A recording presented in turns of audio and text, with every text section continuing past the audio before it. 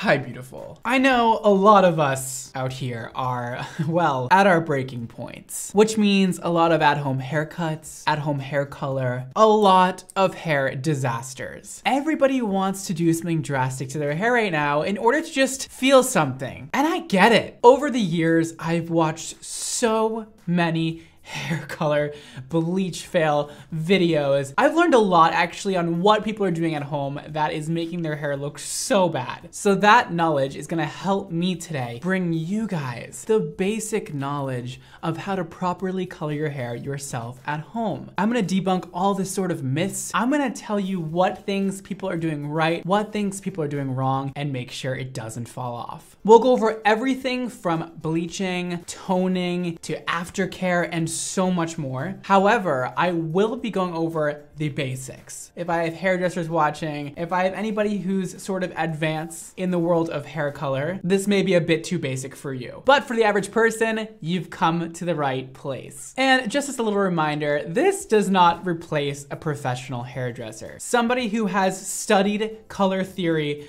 for years is gonna know a lot more than this, but it is a guide during these tough times on how you can color your hair yourself and do it well. Maybe not amazing, but well, I hope.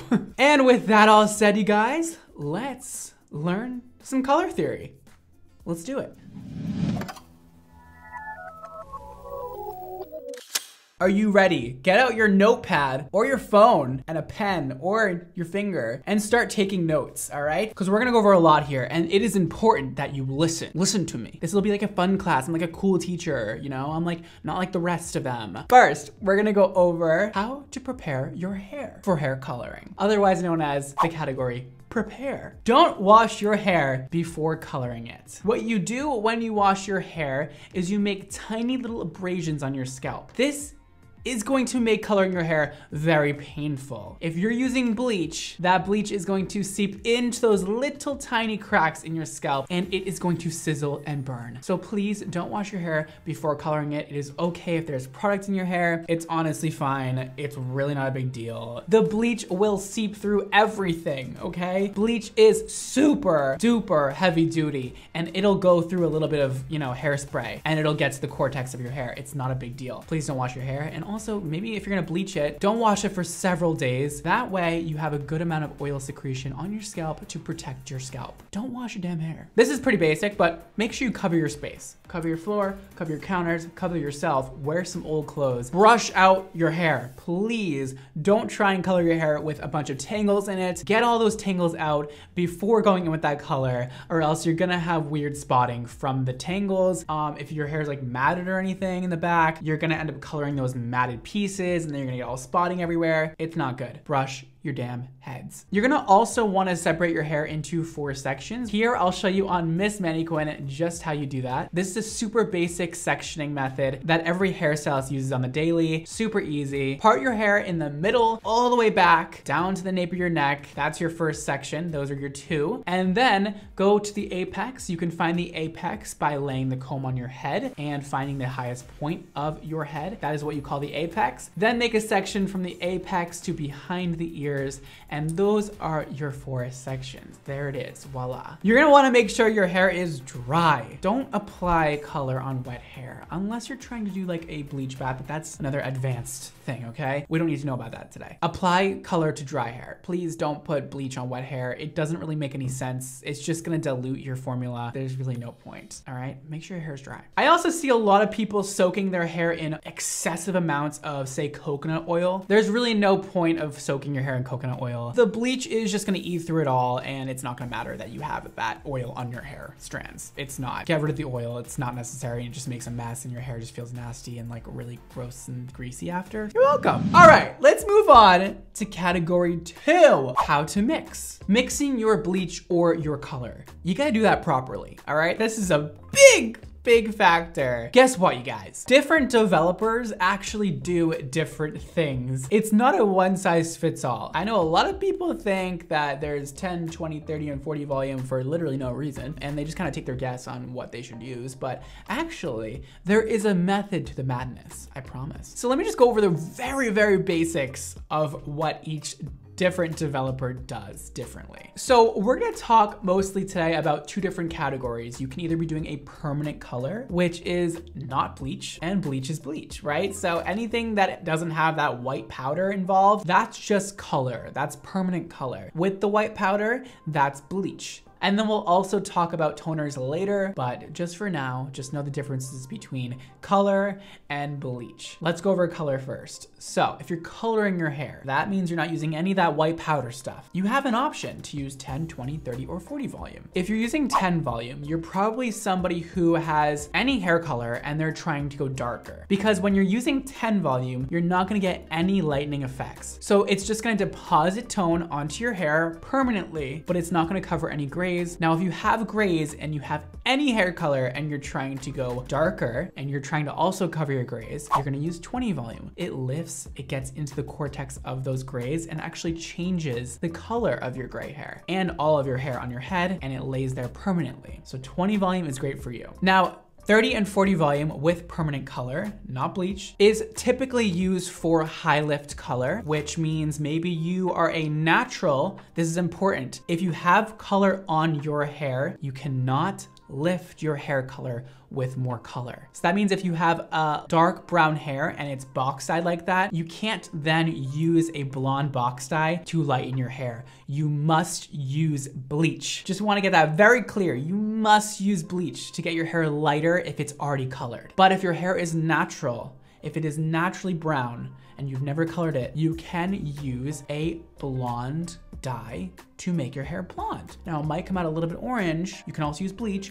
but you can also use a high lift color, which is a color that lifts many levels. So you're gonna wanna use a 30 or 40 volume with that in order to get maximum lift with your blonde color. Another thing that I would use 30 or 40 volume for is reds. You can use 30 volume if you're trying to get that very maxed out, like bright, bright red, or 40 volume if you really wanna push it to the max, max, max, and get like fuchsia going on in your head. You can do that with permanent color without bleach if your hair has never been colored before. Now, for those of you who are gonna use bleach, so people who have already colored hair, wanna go lighter, or people who have never colored their hair before and wanna get to that max, max, bright platinum blonde, you're gonna wanna use lightener, AKA bleach, that powder white stuff that you mix with developer, okay? Now, we don't use 10 volume with bleach because it has no lifting capabilities. Again, 10 volume just deposits and doesn't lift. When I say lift, I mean like the hair cuticle doesn't actually open. That's what's lifting. And then the color molecules actually go inside. 10 volume, it doesn't do that. It lays pretty much on top, slightly inside. Now, 20 volume is for those of you looking for about one to two levels of lift. If you're highlighting your hair, this is often a great great developer to use for highlights. Otherwise, 30 volume is pretty much my standard. I pretty much use 30 volume on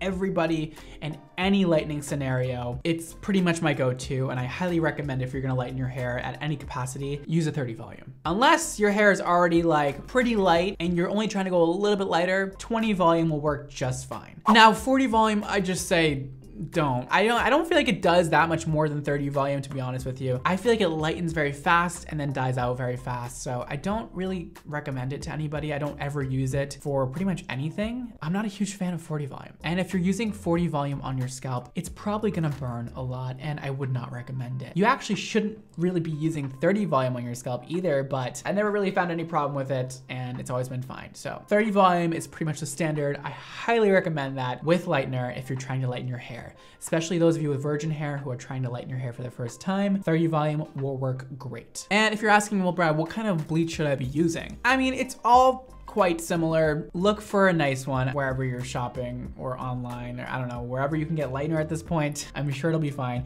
I haven't found a gigantic difference between the different lighteners I've used over the past. If you have the right technique, you can use any kind of lightener and you'll get a great result. And also one last thing, please read the directions. Every lightener has a different mixing ratio. They're very similar across the board, but please mix your lightener correctly to what the directions say. It is important to mix correctly That way you get the maximum results from the lightener you're using. Let's go over our next category, which is where to start. We've mixed our color. We prepared our at-home salon and our hair, and now we're ready to actually apply the color. So let's go over permanent color first. This is the stuff that's not bleach. If you have virgin hair and you're trying to do an all over color, please start at the midsections and ends and then later, after you're done with that, apply the root color. Because you have heat from your scalp, I say this all the time, you will get what's called hot roots, which is when your root area develops more than your mids and ends, and you end up with a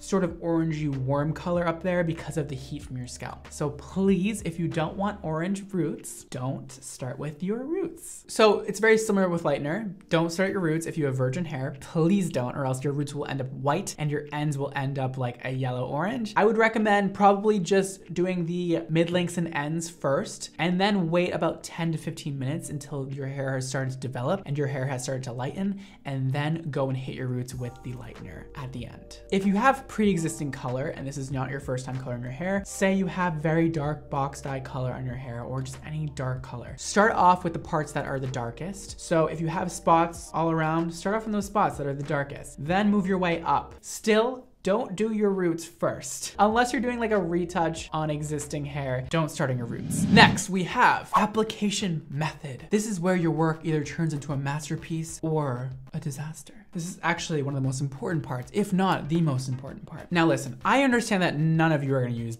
a brush. Probably none of you, which is fine. Honestly, it's fine. As long as you're using these things correctly, you'll be fine. I swear. You'll be all good to go. First of all, make sure you have gloves on. It's really not good for your hands to put color all over them. For real. It'll dry them out forever. Permanent color is pretty simple. Mix it up, put it on your head. You can comb or brush it through. I highly recommend that as you work through. Comb it. Make sure every single hair strand is applied to. And now with bleach, I'm gonna show you on Miss Mannequin how much bleach you should be using, okay? I see this happen all the time where people do not use enough lightener on their heads. 90% of the time, nobody uses enough. You need a lot of lightener in order to get the maximum results possible. And less lightener doesn't mean that your hair is going to lighten less, it just means that you'll probably get spotting all over your hair. If you don't want as much lightening power, maybe drop down the developer or maybe don't let it sit on your hair as long. If you don't want your hair to lighten as much, don't go and put less lightener. That doesn't make any sense. Now, as shown here on Miss Mannequin, my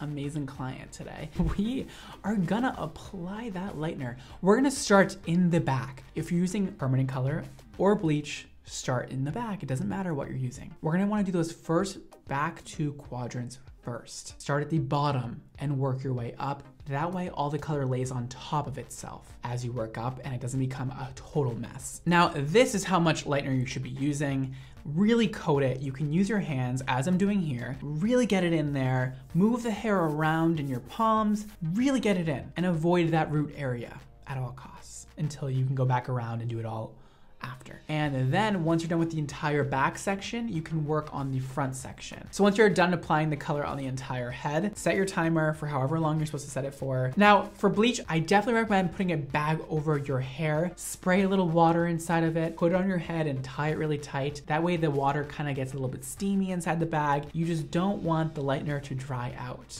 okay?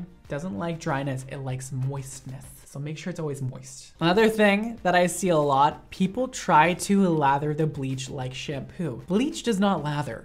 Let me make that very clear. Bleach doesn't lather. So stop trying to make that happen. It's never gonna happen. And also don't comb or brush through bleach. Your hair is in a very fragile state right now. That tension is gonna be very bad and detrimental to the health of your hair. Don't do that. So let's go over how long to leave the color on for. For a permanent color, you can leave on for whatever the directions say. Every manufacturer has a different time frame you leave the color on for. It's usually 30 or 35 minutes. And for bleach, it's much more complicated. It's gonna vary person to person. If you have virgin hair though, and you're trying to go really light, leave on 45 to an hour, okay? Nothing beyond an hour is gonna do anything else because the bleach ends up drying drying out after an hour, basically. Don't leave it on for more than an hour. Nothing's gonna happen. Nothing, I promise. If you're trying to get platinum blonde hair, leave it on your hair until it's kind of like white looking because usually once you rinse the lightener off and that kind of white cast comes off, it ends up looking a lot more orange and yellowish when you rinse it off. So pale yellow is what we're going for in order to get that very platinum blonde look. And you can also wash out the back before the front. Because we start in the back, we can wash that out so that it doesn't over process and the front and back end up as the same color. So once your timer is up, maybe wash out the back first, wait another 10 minutes, and then rinse out the front. And just overall, make sure you monitor this process. Keep a close eye on your hair. Make sure nothing's falling out. If you're worried about anything falling out, take a piece in the back, kind of stretch it out a little bit, pull on it. If it's not breaking or not stretching a ridiculous amount, your hair is probably fine and you can leave it on a little bit longer. And next we have cleansing. And this is a whole category. I see a lot of things gone wrong in the cleansing category in these videos I've seen. One, use lukewarm water, okay? Don't use cold water to rinse off lightener. I know it's tempting, it feels kind of good because your head's very hot, but you don't wanna do that because what's gonna happen is it's gonna shock your hair. Your hair was just expanded really wide in order to get all that artificial pigment out of your hair or natural pigment out of your hair. When you shock it back, it can cause breakage. So make sure you rinse your hair with lukewarm water, nothing too hot, nothing too cold, just right in the middle, okay? Do not scrub your scalp. It's very fragile the skin was just basically ripped off of it. Be gentle, yet thorough. Don't use your nails. Use just like this, just the tops of your fingers, okay? Be gentle, be loving to your scalp. It's doing a lot for you right now. And just say thank you to it by just giving a little massage. And most of the time it takes about two washes to get all the lightener out of your hair if you're using a lot of it. Um, sometimes your hair can be left with that gritty feeling. That's just because you didn't wash all the lightener out. So wash it at least twice, condition it very nicely, maybe do a little hair mask, show it a little love, you'll be all good. Up next, evaluate the situation. Can your hair handle more bleach if it needs to be bleached again? Is it stringy? Is it falling out? Is your hair white, white? Does it look like it can handle more lightener? If the answer is no, then don't do it. If the answer is yes, then do it, okay? It'll be fine. And now is when you proceed with another round of lightener if you need to. And now those that are doing permanent color and not using bleach, you'll wanna stop here. You're at the end of your journey. Congratulations, you've colored your hair properly. People that are bleaching, there's more stuff to it, okay? It's a long process. So next up we have toner. Toner is a tricky situation for a lot of you, I've noticed. a lot of you are using permanent color as a toner. Now that's not a toner, okay? See, permanent color, like we went over before, lifts and deposits. It goes into the cortex of your hair. Toner lays on top. You don't want to use permanent color when you're toning your hair. Again, it's a very confusing thing to go over. We're going over the basics today. Just listen to me. Don't try to fight it, okay? Just use a toner, not a permanent color. Don't use box dye to tone your hair, okay? Don't go grab the icy blonde box dye and put it over your already blonde hair. There's so much ammonia, there's so much lifting in that box. You don't need any lift at this point. You've already lifted your hair to what it needs to be. It's like pale yellow right now. You don't need to then lift it further. You're just gonna create so much damage for no reason. Toner lays on top of the hair cuticle. It's often mixed with anything below a 10 volume developer. Typically there is a toning developer that goes with the toners, okay? So look out for that. T18 is not a toner. It's a permanent color, okay? Don't be using 20 volume with T18 in order to tone your blonde hair. No, it's not good. Use a level 10 toner, maybe an ash neutral one, combined with a toning developer in order to tone your hair. This will leave your hair feeling amazingly healthy. It won't cause any damage. It'll actually help some of that damage feel better. And that's why we use a toner and not a permanent color. When you're toning your hair, opt for something that is at the same level as what your hair is right now, or for something darker. Okay, you can't go lighter with a toner. You can only go darker or at the same level. So these are the levels right here, the basics of it all. Level one to 10, one being the darkest, 10 being the lightest. See what you are. And then when you know what your level is, say you're level eight right now, and you're trying to be more ash toned, okay? So you know you wanna go with level eight. Then you whip out your color wheel, okay? It's not that complicated, I swear. Just listen. I know this sounds scary. Grab your color wheel. If your hair is kind of looking a little uh, orange, you know, go from that orange across the other side and you'll see across some orange is blue. You're gonna want a blue based toner at a level 8 in order to cancel out that orange you're seeing. So you can use something like an 8NA in order to cancel out that orange and get a beautiful level 8 tone that looks sort of natural and almost salon quality. Purple shampoo is not a toner. Purple shampoo is to keep up with what you've done at the salon or at home. It's not a toner. Don't use it to tone your hair. It's not gonna work well. You're gonna get spotting everywhere. That's not what it's for. And make sure you're leaving the toner on for the recommended amount of time and not longer and not shorter. So using a level 10 toner on a level 8 head of hair, see this is level 10, this is level 8, it's not gonna work because there is no lifting agents. There's nothing that's gonna get your hair higher. There's nothing that's gonna make your hair lighter. Toner doesn't make your hair lighter. It just brings you to the right tone of that lightness that you have achieved with bleach. Consider doing a root and end glaze. You can look up pictures of that. This is basically what it is. It's when you do a darker toner on the top and a lighter one on the bottom. Hair naturally has darker tones at the top and lighter tones at the bottom, typically. We often do that in the salon to make a bit of a more natural look or to make a little root shadow. So you can use like a level 8 on the root and a level 10 on the ends and blend it all together. It'll look amazing, but that is definitely more of an advanced skill. Try it, might not come out that good, but don't blame me. Our next category, finish and style. At this point, you're pretty much done, okay? You've rinsed it off, you blow dried it, you have the most amazing, beautiful hair ever. Evaluate, okay? Is this where you wanna be? Do you wanna be lighter? Maybe you should wait a day. Maybe you should wait a week. Maybe you should wait six months to do it again. Maybe try to get your hair lighter, or maybe it looks great how it is. Just evaluate the situation and don't make any impulse decisions. Make sure you are gentle with your hair and using the proper products to take care and maintain your new color. We have Forcefield Heat Shield here and Viper Smoothing Oil. These are gonna be great for maintaining color and keeping the integrity of your hair. Heat Shield protects your hair up to 500 degrees Fahrenheit and adds provitamin B5 to strengthen and restore your hair. This is great for people with colored hair or not colored hair, people with any hair type or texture, perfect for protecting against heat damage and the elements. The oil, it's gonna rehydrate your hair. It's not gonna sit on top of your hair cuticle, it's actually gonna seep in deep into your cortex and rehydrate and restore your hair from the inside out. Great for after color. Please make sure you take care of your hair after color. That's so important. That way when you go back with color again the next time, your hair is in pristine shape to then take more color and not become damaged. And with that, all set, you guys. Happy coloring and good luck.